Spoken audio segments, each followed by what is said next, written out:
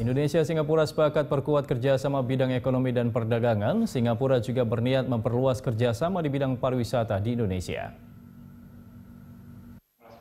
Wakil Presiden Yusuf Kala menerima kunjungan Wakil Perdana Menteri Singapura Theo Chee Hean.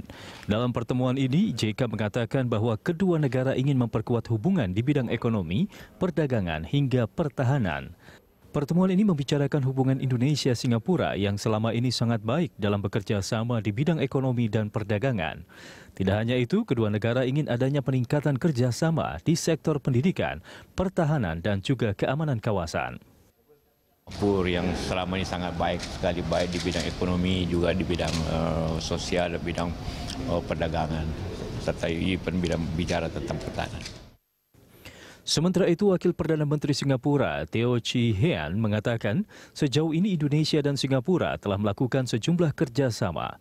Salah satu yang disebutnya adalah pembangunan Nongsa Digital Park di Batam.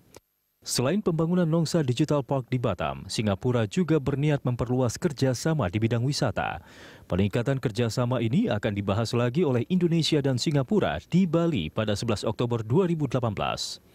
The purpose of my visit here is to strengthen relations between both countries and also to prepare for the leaders' retreat between Bapa President and uh, Prime Minister Lee on 11th October this year.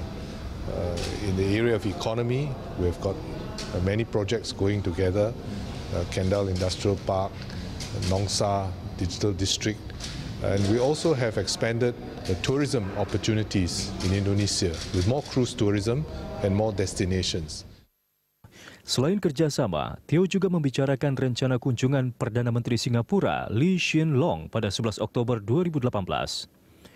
Lee dijadwalkan hadir dalam pertemuan Asian Leader Gathering di Bali.